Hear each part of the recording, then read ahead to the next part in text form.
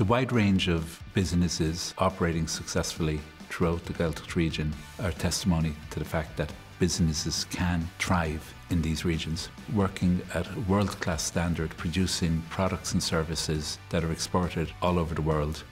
My name is Evelyn O'Toole. I started CLS or Sihirlan Connemara Cho in Ros Muc in 1994. We're now celebrating 25 years in the Gaeltacht. Doing business in the Gaeltacht has changed and it's all about being connected. It's a fabulous option for doing business in. The Gaeltacht through the Gteic network is readying itself for a new era. Our newly designed hubs bring with them creative space for companies and individuals to develop from concept to commercialisation. Gohfuil mar ar fáil le chola go na galibh lia ar an da. Marall ar an láidir tar fáin se. Marall ar an Gteic is a bheits an mé agus agus gan déile leis an trocht gach lá.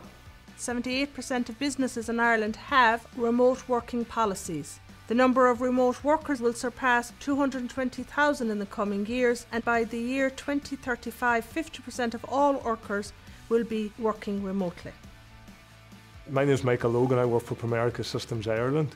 Primerica are a subsidiary of, of Prudential Insurance. Prudential are a Fortune 500 organisation.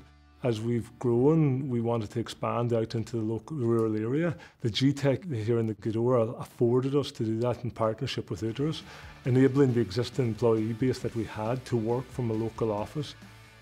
We'd like to invite people to be part of our ever growing network of entrepreneurs, innovators, and remote workers who are operating in our Gteic network with world class facilities and excellent connectivity in all parts of our culturally vibrant Gaeltacht region.